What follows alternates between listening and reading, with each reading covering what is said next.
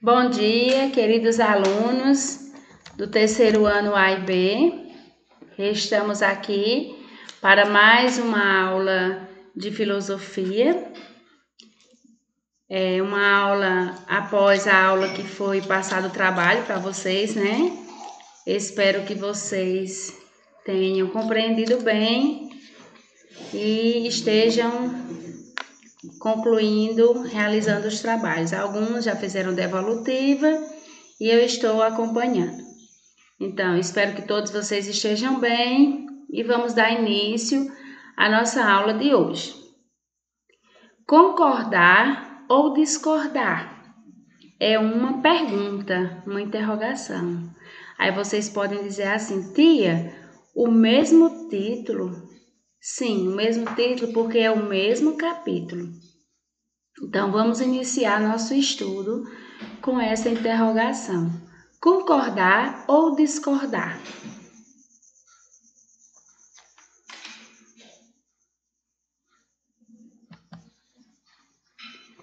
No sumário, vem dois pontos. O ponto 1, um, um texto com o título Concordar ou Discordar, na página 17. No ponto 2, Jogo dos Argumentos, seção Vamos Brincar, na página 18. Concordar ou discordar. Você pode até concordar ou discordar das opiniões dos outros, mas para isso deve ter boas razões, bons porquês. Também é importante repensar suas opiniões quando as outras pessoas apresentam boas razões para discordar de você. Todos nós temos o direito de aceitar ou discordar de uma determinada situação. O que não podemos é querer impor a todo custo o que achamos ser correto. Antes de a gente comentar esse, esse pensamento, aí é um, é um pensamento de Mazenildo Feliciano Pereira, um pensador. É, vamos conversar um pouco sobre essa questão de que você pode até concordar ou discordar das opiniões dos outros. Mas quando nós discordamos, concordamos ou discordamos, nós temos que ter boas razões para argumentar o porquê de concordar ou de discordar. Né? Porque você só não deve dizer, a gente não deve dizer assim, não concordo, então concordo. Tem que dizer o porquê. O importante é dizer o porquê concorda, o porquê não concorda. E no pensamento de Mazenildo Feliciano, ele fala que todos nós, nós é, temos o direito de aceitar ou discordar de uma determinada situação. O que nós não podemos é querer impor a todo custo o que achamos ser correto, ou seja, que todas as pessoas aceitem a opinião que a gente tem, né? Impor para os outros que aquilo que eu acho correto, todas as pessoas devem achar. Não, a gente não pode é, querer agir dessa forma ou agir dessa forma, né? Então vamos a um outro pensamento. Concordar é sempre mais inteligente do que discordar. Mesmo quando a concordância não é total, uma pessoa sensata busca em toda parte a verdade, não o erro.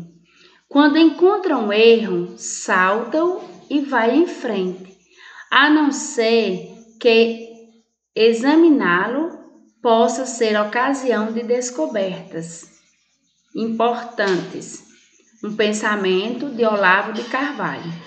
Então, é, refletindo nesse pensamento, nós devemos é, considerar essa questão de que ele fala que concordar é sempre mais inteligente.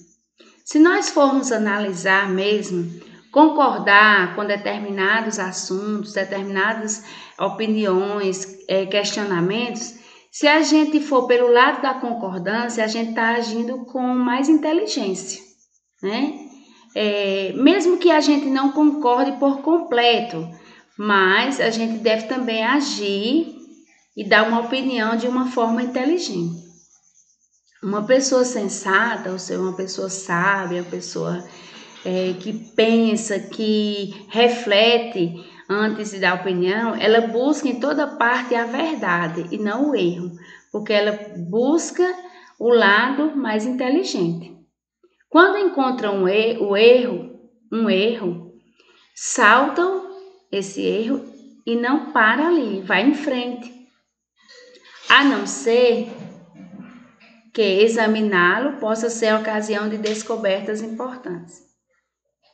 É, se não for, aí você não tem por que seguir em frente, mas você já tendo em mente que vai ter algo importante, você deve seguir em frente. Vamos ver um outro pensamento.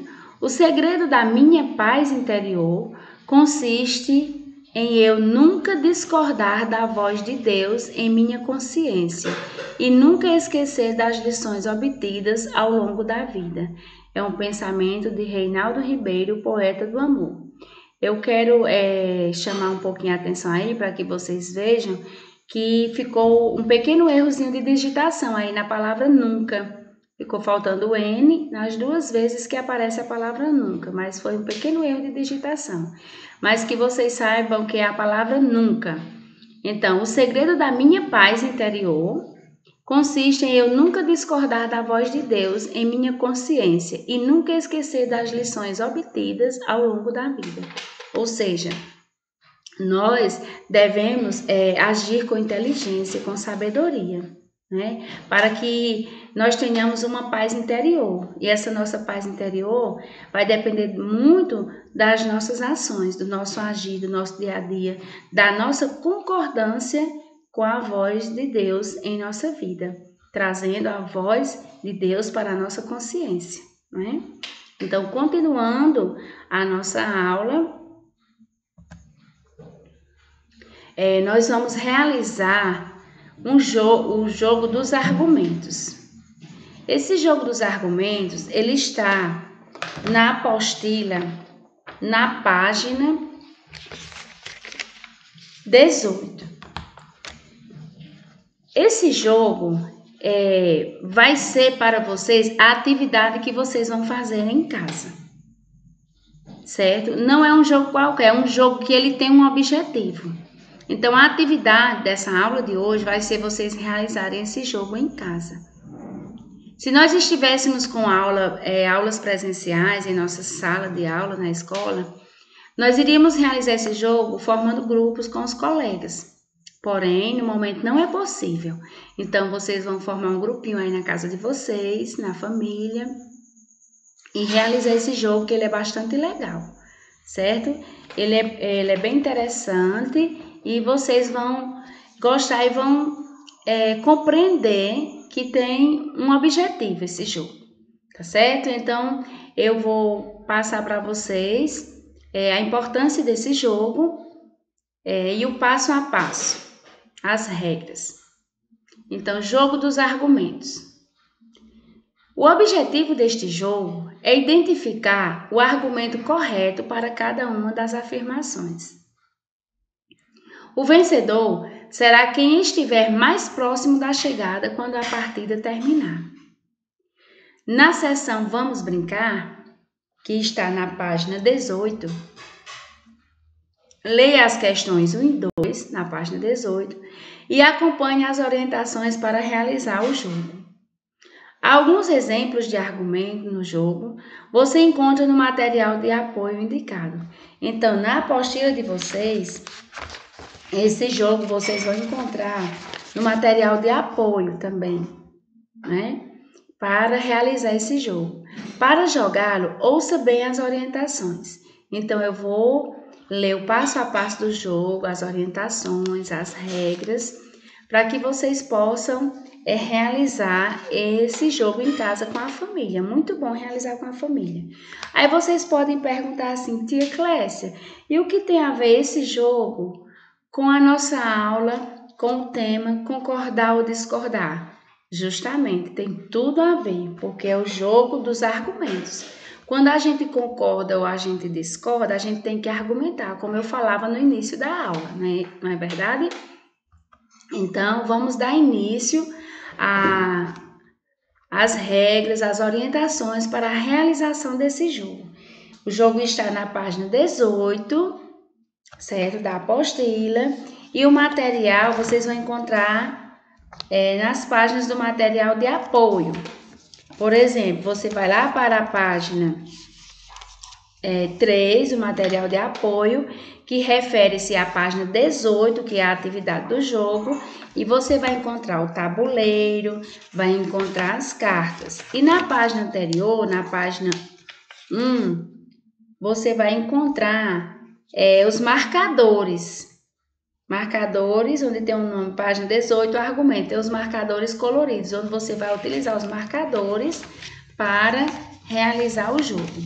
Vou mostrar aqui para vocês. Esses são os marcadores. E aqui está o tabuleiro e os cartões.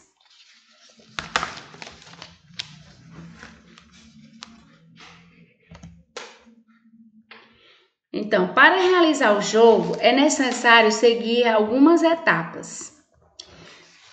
Primeiro, formar grupos de três ou quatro jogadores. Onde vai ser formado esse grupo? Em sua casa com a mãe, com o pai, irmão, com quem morar em sua casa que estiver disponível, você vai fazer o convite bem animado para realizar esse jogo com você, para jogar junto com você, tá certo? É um momento é, de brincar e aprender. É um momento de descontração, onde você vai se reunir com alguns membros da família, você vai brincar e ao mesmo tempo você vai aprender certo? 2. Usar o tabuleiro, os cartões e os marcadores do material de apoio, que são esses que eu acabei de mostrar para vocês. Vocês vão encontrar no material de apoio. 3. Embaralhar os cartões e distribuir um marcador para cada jogador. Porque o jogo é para ser jogado entre de três ou quatro pessoas no grupo, né? Formar grupos de três ou quatro, ou quatro jogadores.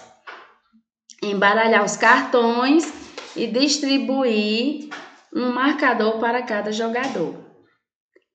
4. Definir a sequência de jogadas. 5.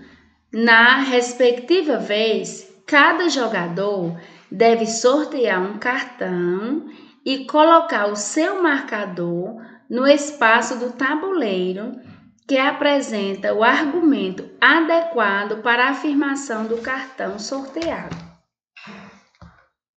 6. Na próxima rodada, o jogador deve mudar seu marcador de lugar, colocando no espaço correspondente ao argumento para a afirmação do novo cartão sorteado. O espaço pode ser anterior ou posterior ao ocupado pelo marcador. Sétimo, depois que todos os cartões forem sorteados, vencerá o jogo quem estiver com o marcador no espaço mais próximo da chegada indicada no tabuleiro. E aí, você vai preencher o espaço na página 18, onde apresenta as pistas, afirmação e argumento. O que vai preencher nesses espaços? Lá no material de apoio tem os cartões. Nos cartões tem umas frases tem uma frase: Não posso sair para brincar agora. Estou chateada. Não gosto de montanha russa. Acredite em mim. Vou viajar amanhã. Sempre me divirto com o meu cachorro. Vou ajudar você. Gosto de flores. São as frases que estão nos cartões. No tabuleiro tem o caminho, a chegada e a saída. E em cada espaço tem a afirmação e tem, tem os argumentos e os cartões têm outras frases que vai complementar as frases que tem no tabuleiro. Por exemplo, no primeiro espaço, da, na primeira pista, melhor falando, na primeira pista, tem malas. Então, essas malas é uma pista e você vai procurar, de acordo com as regras do jogo, quem for, quem for nesse, nessa, nesse momento dessa jogada, onde tem essas malas, vai combinar com qual frase? Vou viajar amanhã. Por quê? Você vai dizer qual é o argumento. Por que será que você vai viajar amanhã? Você, aí se você conseguir parar onde tem a frase que complementa a frase do cartão, que é o argumento. Por quê? Porque já estou de férias. Aí você coloca vou viajar amanhã na afirmação. Isso é um exemplo que eu estou dando e o argumento porque estou de férias. E assim você segue as demais pistas com as demais afirmações e argumentos para preencher o quadro, certo? É, realizem o jogo com calma, com atenção. Quantas vezes for necessário ler as regras do jogo, vocês leiam para compreender direitinho e vocês vão ver como é bem legal a realização desse jogo tá certo? Aí preenche todos os espaços de afirmação e argumento da página 18 de acordo com as jogadas, tá certo? De acordo com as partidas, e aí vocês vão ver quem será o vencedor, né?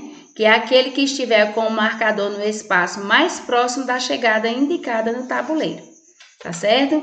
Então é um jogo bastante divertido e também que tem um aprendizado onde você vai compreender o que pode ser considerado como afirmação e o que pode ser considerado como argumento. Tá certo? Então, chegamos ao final de mais uma aula nossa de filosofia, certo? Espero que todos vocês tenham compreendido. Nossa aula foi um pouquinho mais curta hoje, porém, é, de um bom aprendizado, de uma boa compreensão, eu tenho, eu tenho certeza para todos vocês, certo? Então, para finalizar, é, vou ler aqui para vocês, vocês acompanhem, é, um pensamento de um grande filósofo, Immanuel Kant. A moral é uma ciência que ensina não como ser feliz, mas como tornar-se digno da felicidade. Immanuel Kant. Então, que todos vocês tenham bom estudo, um bom, um bom jogo dos argumentos com a família, divirtam-se e aprendam ao mesmo tempo para identificar afirmações e argumentos. Boa aula, é, um abraço e um beijo no coração de cada um de vocês e até a nossa próxima aula, se Deus quiser.